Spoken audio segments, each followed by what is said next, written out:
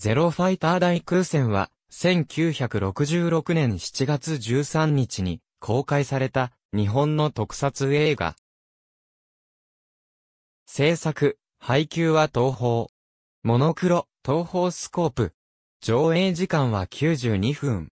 平営は、三船プロダクション作品、怒涛1万回り。東方初の霊戦を題材とした映画。森谷史郎の監督デビュー作でもある。ストーリーはフィクションだが、劇中で用いられている戦法は、太平洋戦争当時に実際に用いられたものとされる。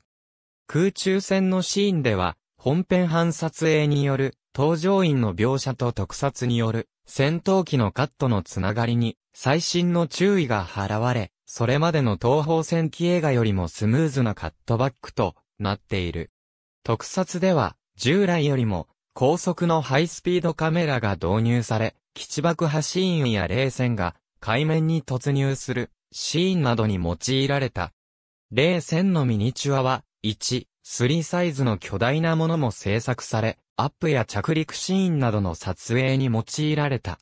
昭和18年、連合艦隊司令長官山本56が戦死し、最前線のブーゲンビル島部員基地では、激戦が続いていた。